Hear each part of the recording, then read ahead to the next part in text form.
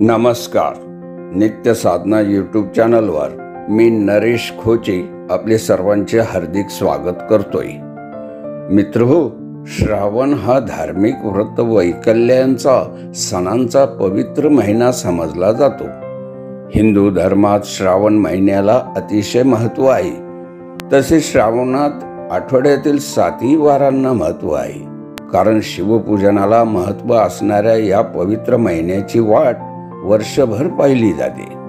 याच महिन्यात येणारे मंगळागौरीचे व्रत हे मुख्यत्वे नवविवाहित महिलाकडून तसेच सुवासिनी स्त्रियाकडून पाळले जाणारे एक अत्यंत पवित्र व्रत मानले जाते. श्रावण महिन्यातील हे व्रत नवविवाहित मुलीसाठी खास असते.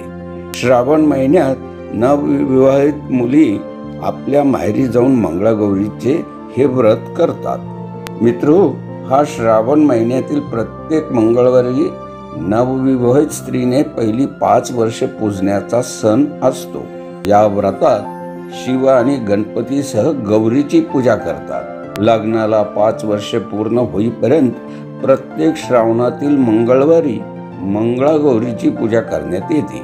हे व्रत पाळल्यानंतर या व्रताचे उद्यापन करण्यात येते. नवविवाहित आणि सौभाग्यवती महिलांना बोलावून हा सण एकत्रितपणे साजरा करण्यात येतो. आणि पूजा झाल्यावर रात्री जागरण करण्यात येते. मंगळागौरीची पूजा नक्की काय असते? मंगळागौरी का पूजली जाते? याचे उद्यापन कसे असते? मंगळागौरीची कथा काय आहे? मंगळागौरीच्या पूजेचा विधी काय असतो? हेच आपण आजच्या व्हिडिओत जाणून घेऊया. मित्र सुवासिनी स्त्री श्रावणातल्या मंगळवारी आपल्या विवाहित मैत्रिणीसह भगवान शंकर यांच्या समवेत गौरीची पूजा करते.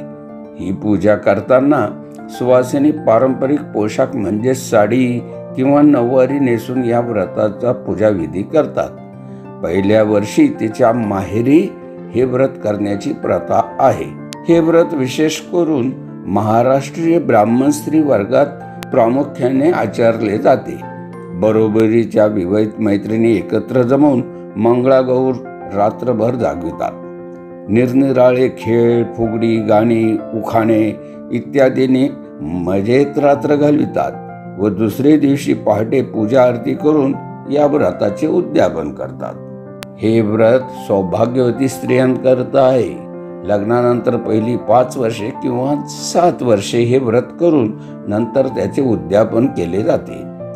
जय जय मंगळागौरी म्हणून सोळा वातींची मंगल आरती भक्तिभावाने सुवासिनी स्त्रियाकडून केली जाते.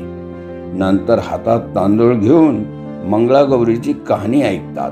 सुशिला नावाच्या एका साध्वीस देवी प्रसन्न झाली.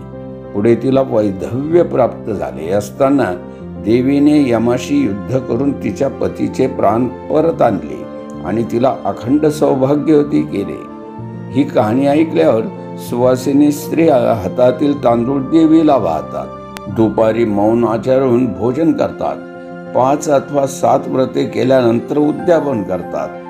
आपल्या पतीच्या कल्याणासाठी आणि सुखी वैवाहिक जीवनासाठी हे व्रत करून सुवासिनी स्त्रिया गौरीचा आशीर्वाद घेतात.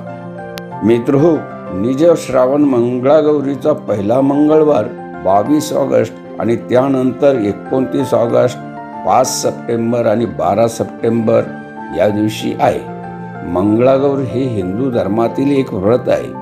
पती पत्नीमधील अत्यंतिक प्रेम आदर आणि निष्ठेचा आदर्श म्हणून भगवान शंकर आणि माता पार्वती यांच्याकडे पाहिले जाते. त्यांचा आशीर्वाद सदैव आपल्या पाठीशी असावा त्यांची कृपादृष्टी असावी. या हेतूने ही पूजा केली जाते. श्रावण महिन्यातील प्रत्येक मंगळवारी लग्नानंतर पाच किंवा सात वर्षे हे व्रत करण्यात येते. त्यानंतर ती उद्यापन करू शकते.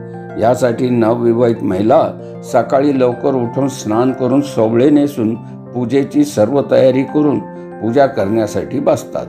भटजींना बोलावून मंगळागौरीची अगदी षोडोपचाराने यथासांग पूजा करण्यात येते. मंगळागौर म्हणजेच पार्वती. पार्वतीच्या बाजूला भगवान शंकराची पिंडीही ठेवली जाते. पूजा झाल्यानंतर पिठाच्या किंवा पूर्णाच्या दिव्यांनी मंगळागौरीची आरती करण्यात येते.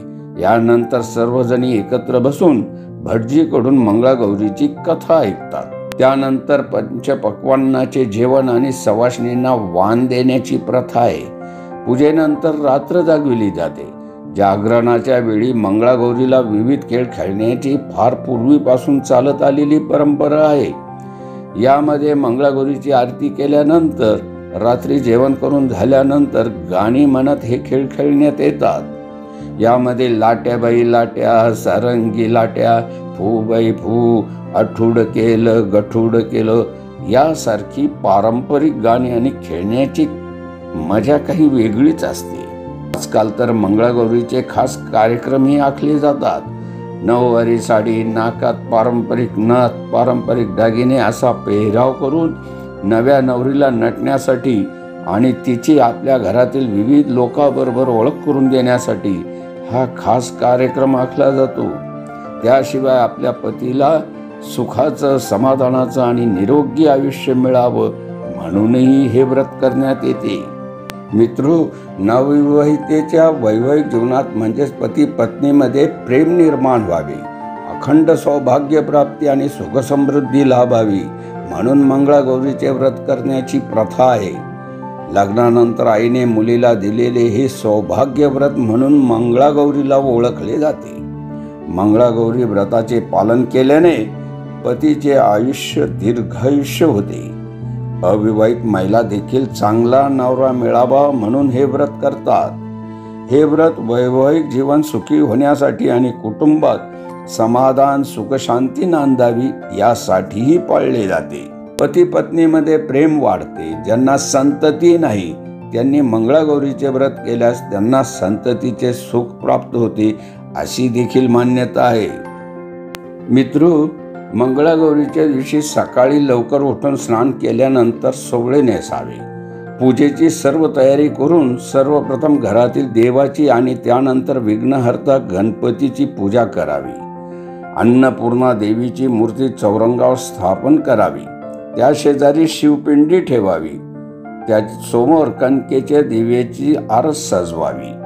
सर्वप्रथम गणपती पूजन करून कलश घंटा दीपपूजन करून मंगळागौर किंवा अन्नपूर्णेच्या मूर्तीवर शिवमंगलागौरीचे आवाहन करावे. यानंतर षडोपचारे पूजा करावी. देवीला विविध झाडांची पाने फुले वाहवीत. नंतर पांढरे तीळ तांदूळ मुगाची डाळ अशा धान्याची एकत्रितपणे मूठ अर्पण करावी.